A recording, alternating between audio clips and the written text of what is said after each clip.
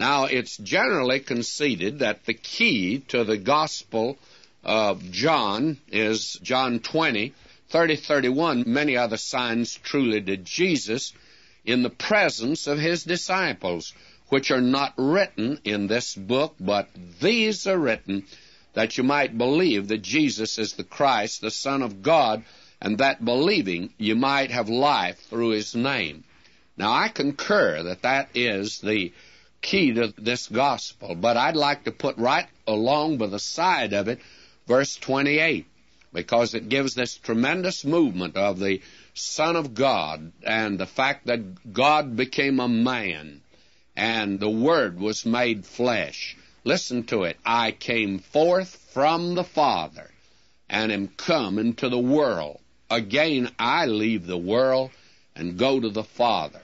And that's a statement. There's never been a human being on this earth that could make that statement except the Lord Jesus Christ. And this gospel widens it out and makes this bigger than Bethlehem. And it reaches back into eternity past and moves into eternity in the future. And it just speaks of those few moments he spent on this little earth.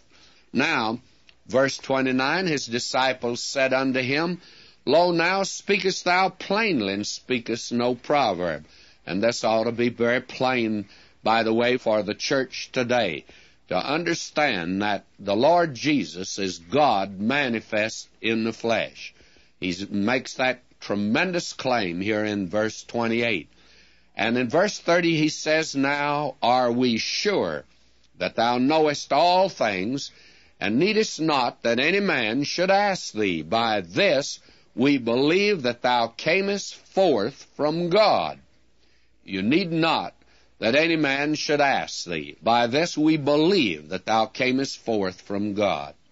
You see, these men now are being brought into the place not only of just faith, but of knowledge that is based upon facts and that now they are convinced. There's a great conviction that's coming over them. Jesus answered them, Do ye now believe?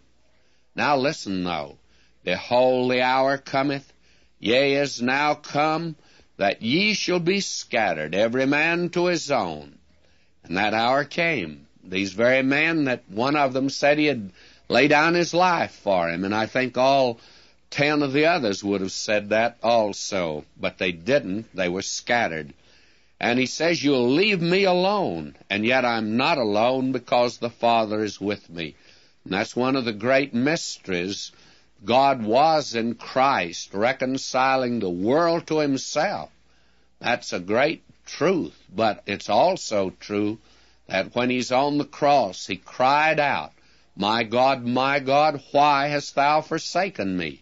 That's a quotation from the 22nd Psalm, and the explanation given is, Because thou art holy.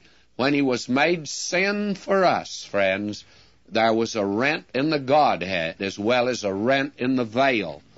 But God was in all of this reconciling the world to himself.